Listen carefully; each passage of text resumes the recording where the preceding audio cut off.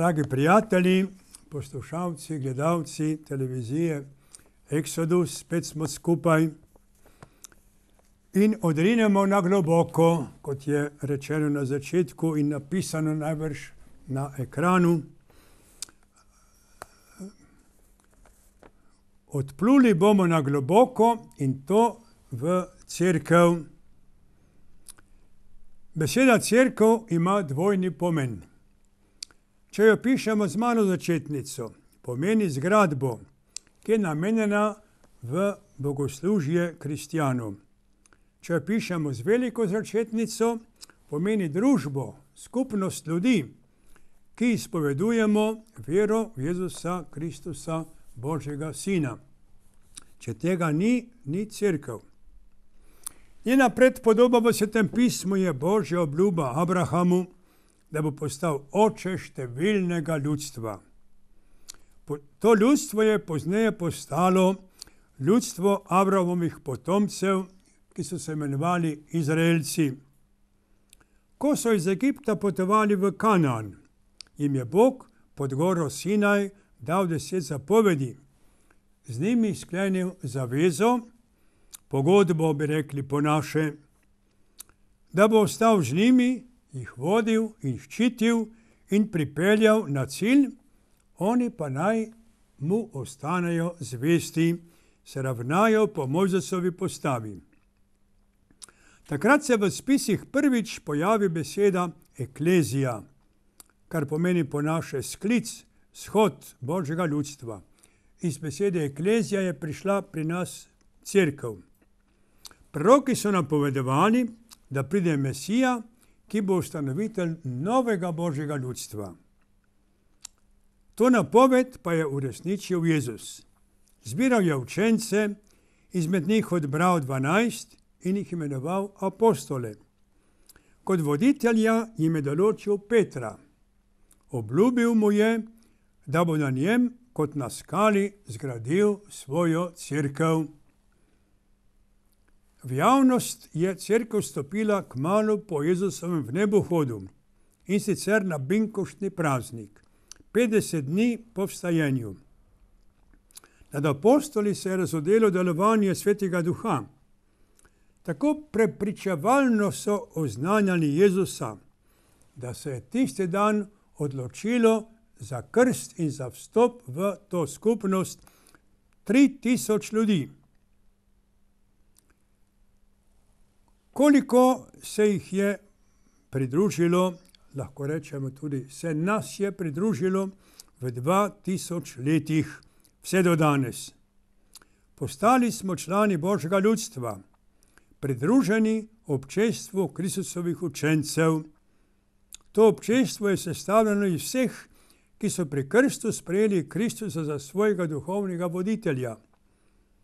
Kot vsaka, vsaka človeška skupnost ima tudi crkva nekoga, ki ji načeluje. V našem primeru je to Petrov naslednik, ki se imenuje papež in ima svoj sedež v Rimu. Nasledniki drugih apostolov so škofje, njim v pomoč pa so ali smo duhovniki. Ta razvoj v vodstvu cerkve so narekovale zgodovinske okoliščine skozi stoletja. Papež vodi vesoljno cerkev, razširjeno po vsem svetu. Pod njegovim vrhovnim vodstvom obstajajo krajevne cerkve, ki jih vodijo posamezni škofje kot nasledniki apostolov.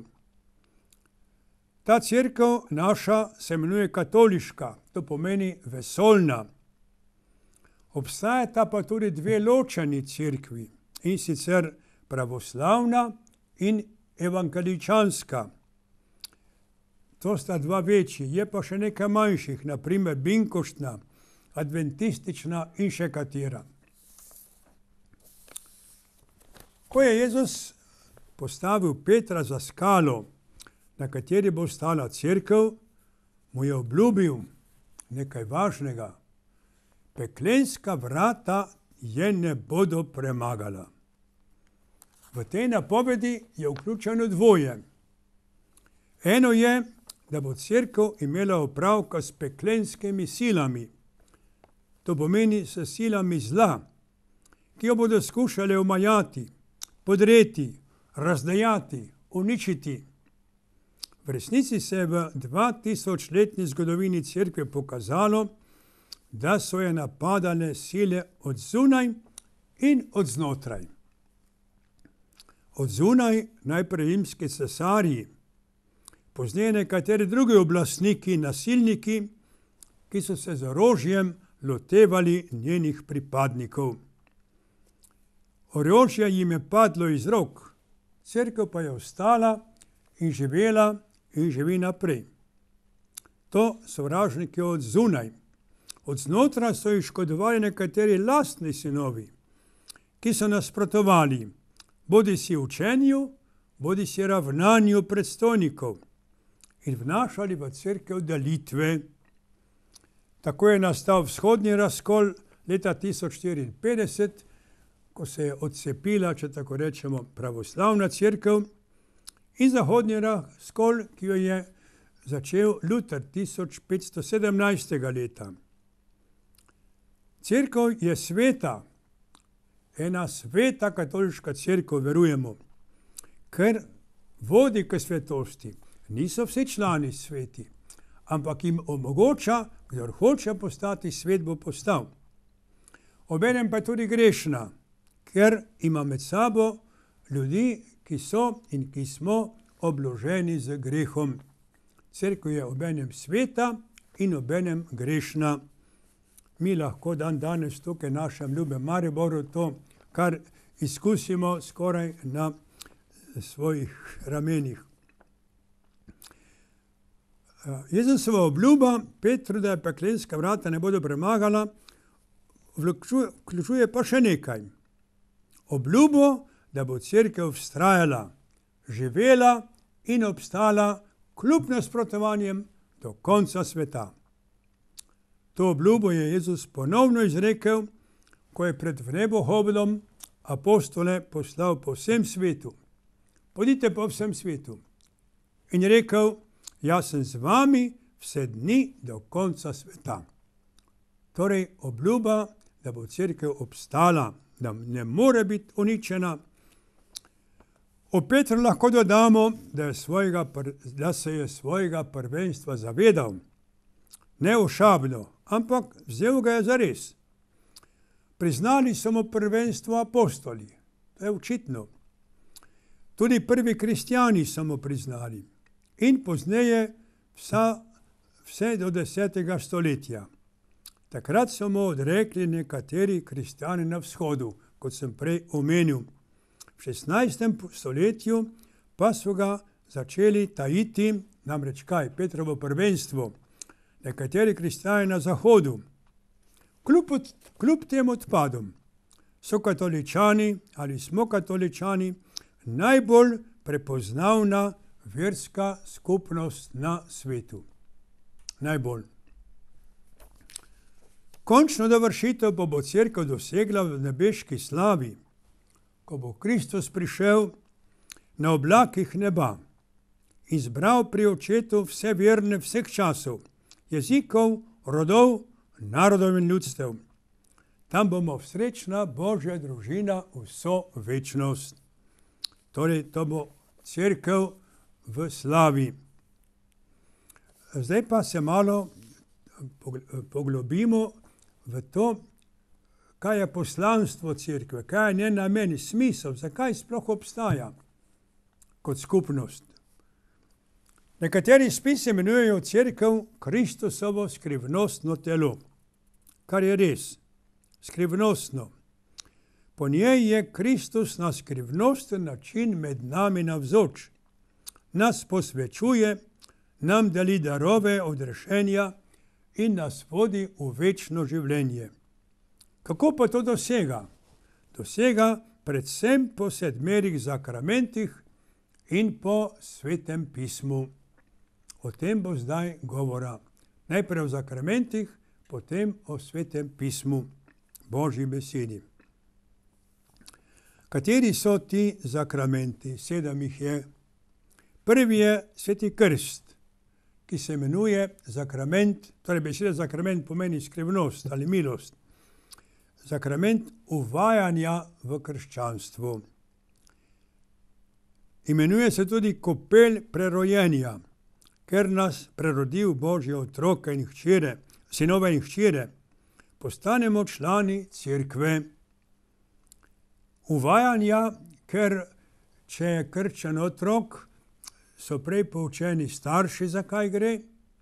Če je nekdo krčen kot odrasel, mora biti prej poučen in ne samo poučen, tudi sprejet oziroma odgovori, sprejmem to, v čem sem poučen. Šele potem je lahko krščen, uveden v krščanstvo. Kdor je krščen, je deležen duhovnih darov, ki jih prejema od cerkve, njenega poslanstva, ko te darove posreduje naprej. S krstom crkv izpolnjuje Jezusovo naročilo apostolom, predno je šel v nebesa, podite po vsem svetu, učite vse narode, krščujte jih v imenu očeta in sina in svetega duha. To so besede, ki jih izgovori krstitelj nad tem, ki ga krsti. Jaz te krstim v imenu očeta in sina in svetega duha. Včasih so ga v vodo potopili, sedaj ga pa samo oblije z vodo. Drugi zakrament je Birma. Tiste, ki so krščani, še bolj tesno poveže s cerkvijo, jih obogati z milostjo svetega duha, obenem pa jim nalaga dolžnost, naj bodo Kristusove priče. Z besedo, zgledom in delovanjem naj pomagajo širiti in braniti vero. To bi naj bil namen Birme. Sakrament ozdravljanja ali sveta spoved je tretji. Tako se imenuje, ker je priznanje grehov pred duhovnikom bistvena prvina tega sakramenta. Spoved pomeni poveš. Imenuje tudi sakrament odpuščanja, ker podeli prejemniku odpuščanja in mir. Tako reče duhovnik, ko je končal spoved, naj ti Bog da odpuščanje in mir. Kakor je naše telo ranljivo, je ranljiva tudi naša duša. Kakor zdravniku razkrijemo svoje telesne bolezni in rane, tako pri spovedi razkrijemo Jezusovemu namestniku, duhovniku, duhovnem zdravniku, duhovne rane in bolezni. Sporedba je jasna. Z namenom, da jih Jezus zaceli, jih poveš duhovniku. Jezus nas ne želi mučiti, čeprav je na nek način mučno iti k spovedi, poniževalno, zato tudi no, marsikdo ne gre. Jezus nas ne želi mučiti, ponižati, ampak ponižali smo se sami, ko smo grešili. Ponižal si se, ker si popustil zlu. Naj povem zgodbico iz uh, Šekspirjeve tragedije Megbet. Megbet je imel ženo, oba sta bila slavohnepna, čakalo se je, ko stari kralj umrje, kdo bo postal novi kralj. Bila sta dva tekmeca, eden od teh je bil Megbet in žena ga je šuntala tako dolgo, da sta, posimo, kako je to podrobno bilo, tekmeca umorila. Ves. Tako sta postala ona dva, kralj in kraljica. Ampak ta Boga, Megbetova žena, ne more spati, ne more spati. Pridržuje se bolnik, zdravniku, zdravnik, pomagaj, pomagaj, pa je dal neka pomerila, pa kaj pa ni pomagalo. E, potem je pa zdravnik rekel sobarici od te kraljice, pusti mene po noči, oziroma bodiva skupaj v sosednji sobi, pa mi jaz prisluškoval, kaj je s tem spanjem te kraljice. In vidimo na odru, kako prisluškuje, prisluškuje in se slišijo vzdihi te žene, in na koncu prešepeta ta zdravnik, sobarici. Ta žena ne potrebuje zdravnika. Ta žena potrebuje spovednika. Greh jo je mučil, greh, ne bolezen. Če bi jo bolezen, bi on zdravil, ker jo pa greh, jo pa eh, ozdravi samo spovednik. Tako je Šekspir metro, njemu vredno to pokazal, kaj pomeni greh. Niso vsi grehi taki, kot jih ima ta ženska, niso vsi grešniki objavci, ampak resnica ostane. Marsikdo je bolan, ne zato, ker je bolan in potrebuje zdravnika, ampak je bolan, ker bi ga zdravil spovednik. Bog je v zgodovini crkve dopustil marsikatero pohujšanje. To tudi mi danes vemo. Ni pa dopustil pohujšanja glede spovedne molčečnosti. V zgodovini ni primera, da bi postal neki škandal, ker je nekdo, neki duhovnik, kršil spovedno molčečnost, to pomeni, govoril, kar je pri spovedi slišal grešnega, seveda, če kaj drugega pove, ni tako hudo. Torej, Bog se je pobrigal, da je spoved ostala neomedržavana. Da ne bi kdo rekel, jaz bi šel k spovedi, pa se vidi, da bo spovednik naprej povedal. Ne bo, brez skrbi bodi. Nekoč je neka žena pri spovedi bila pri meni, uh, še prej bil pa njen mož, jaz to nisem vedel, ampak ker je bila tema, pa me vprašala, gospod, a je moj mož povedal to, pa to, pa to, pa to. Kaj sem za dregi odgovoril? Gospa, njega vprašajte. Ne vam sam pove. Bolniško maziljenje. Bolezen in trpljenje sta bila vedno med največjimi problemi, ki jih postavlja človeško življenje. Jezus je pokazal sočutje do bolnih in mnoge ozdravil, vseh pa ni. Apostol me naročil na ozdravljanje bolnike, a so tudi sami morali skušati trpljenje. Vsi so končno umrli mučeniške smrti, jih ni rešil. Sveti Pavel prizna, ko ga je neka bolezen mučila, v kateri ne pove, kakšna, ampak da je bila kakor trn, ki ga zbada. Pravi, Trikrat sem prosil Gospoda, naj me reši tega trna. In kaj je rekel? Dovolj ti je moja milost. Pomeni, prenašal boš, ampak jaz ti bom pomagal, da boš mogel prenašati. Na drugem mestu pa pove, s svojim trpljenjem dopolnjujem britkosti Kristusove. Pomeni, Jezus ga želi imeti za soodrešenika. Želi, da priloži svoj delež k njegovemu deležu trpljenja. To pomeni, trpljenje, trpljenje ti ne bo odvzeto. Vzemi ga na se in računaj, da ti bo Bog pomagal in ti bo, zaupaj. Jezus se bo naročilo zdravljenje bolnikov, pa danes uresničuje crkv, pa ne samo danes, skozi stoletja da bolnikom trpljenje lajša, da jih to laži in tudi, da jim deli zakrament maziljenja, kakor je napisal apostol Jakob, če je kdo, mi, kdo med vami bolan. Naj pokličajo starešine crkve, nad njim molijo in ga mazilijo svetim oljem in mu bo lažje. Kot duhovnik sem doživel mnogokrat, da je res bilo bolniku, potem ko se ga mazilil, lažje. Zakrament manjšega posvečenja. Po tem zakramentu se poslanstvo, ki ga Jezus naroči apostolom, izvršuje do konca časov.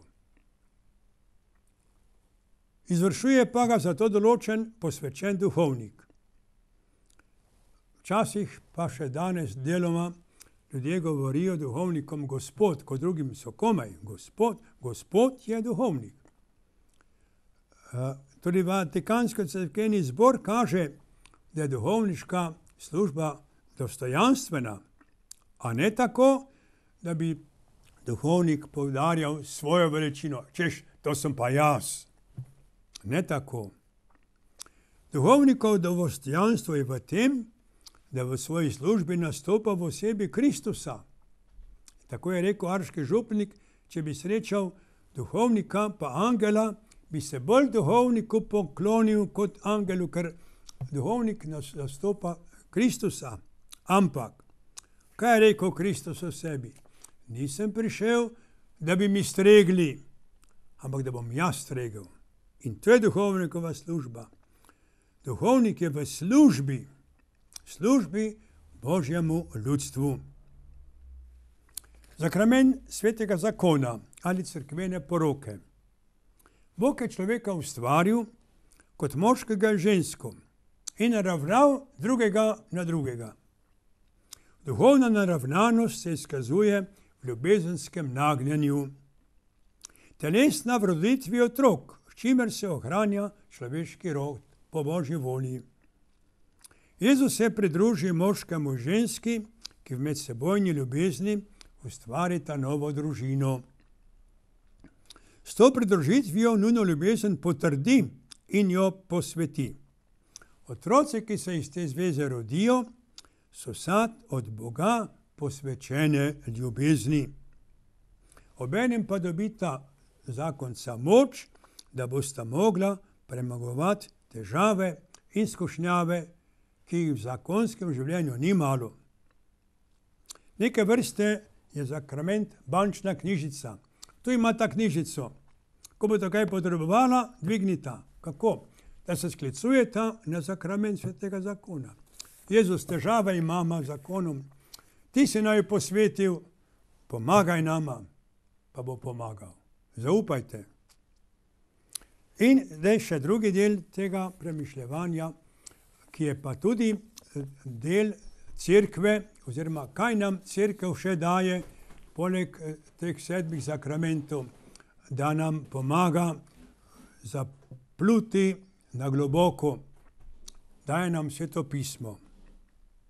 Sveto pismo je poleg zakramentov dodaten način, kako je Bog z nami. V zakramentih je Bog z nami, ker jih Jezus deli preko duhovnika. Sveto pismo je pa dodatni način. Imenuje se sveto, zakaj? Ker govori o Bogu. Imenuje se pismo, zakaj? Ker ga beremo.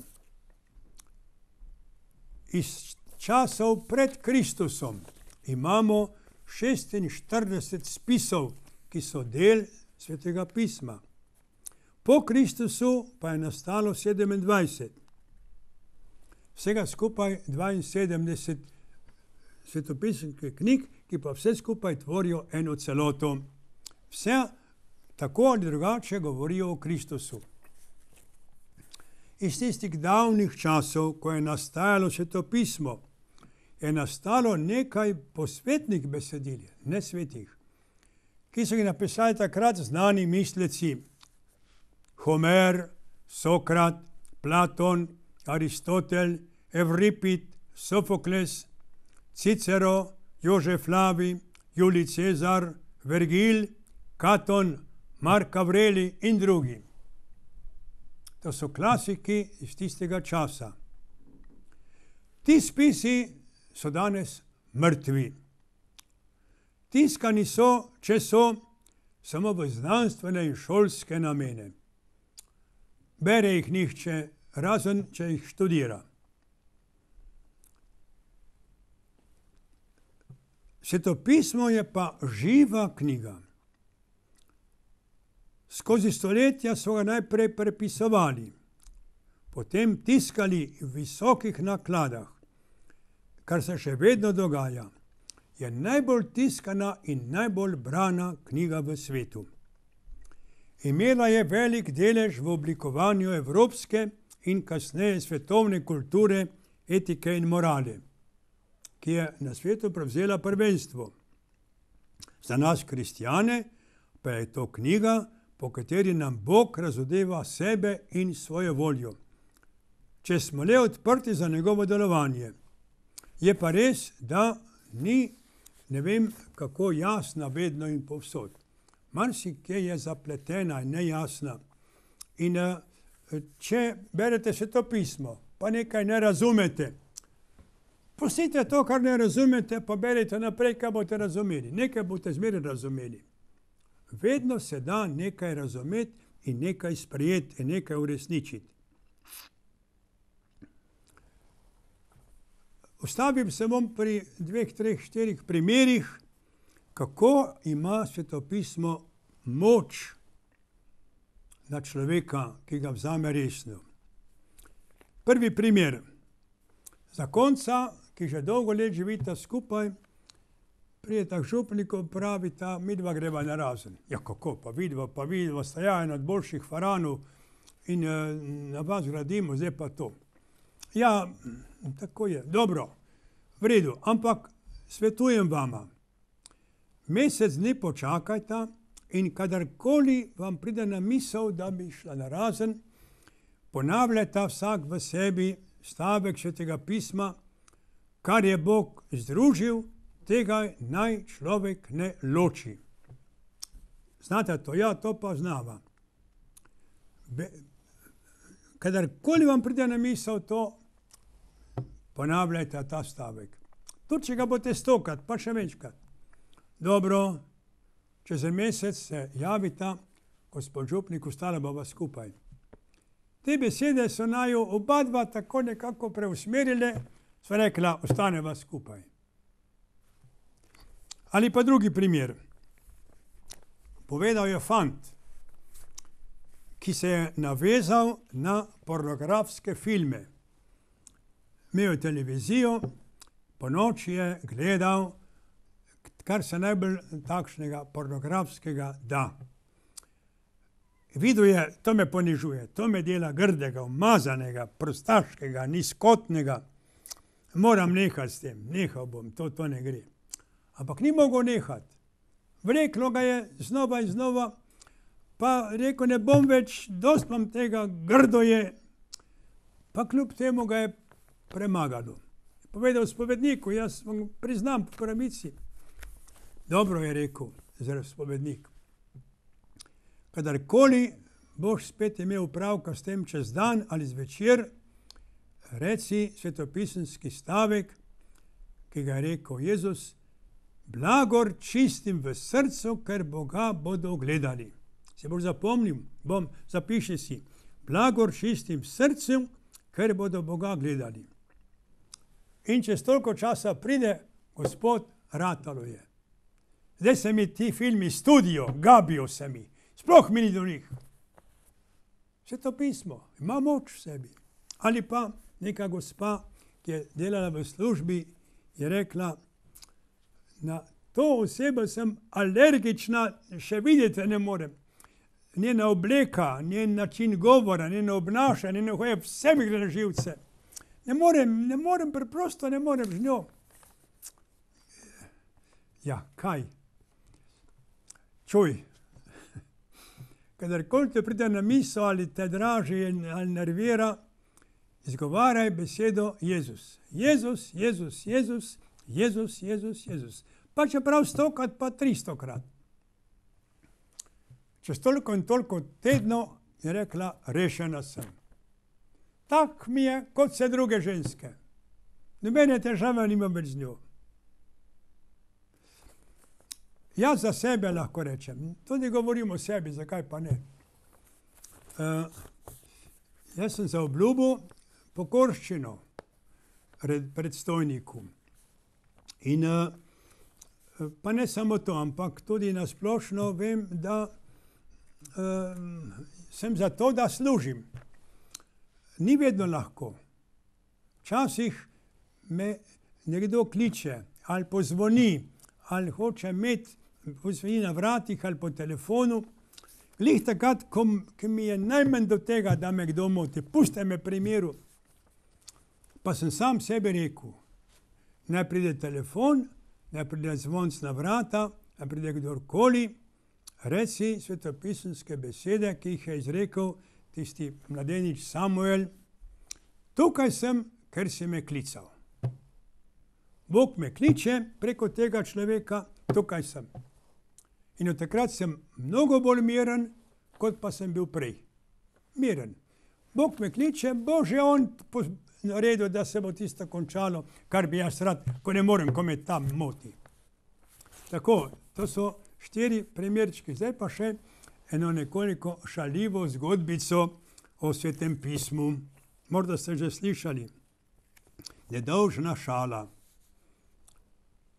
Pravi, o, Bog je velik, Bog je pa res velik.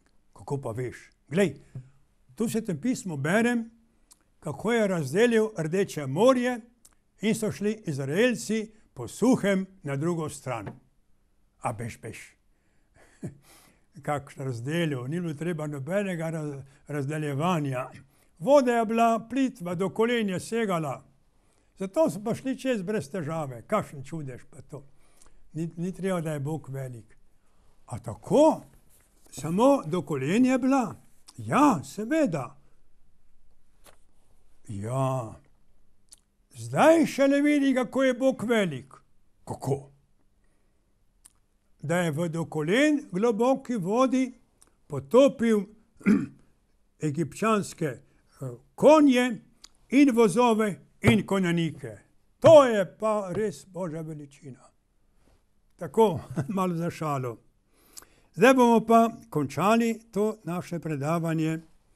Zaplavali smo v globino, po zakramentih in svetem pismu je Bog med nami. Odrinimo na globoko, bolj globoko bomo odrinili, bolj ga bomo doživeli. Hvala lepa, da smo bili skupaj.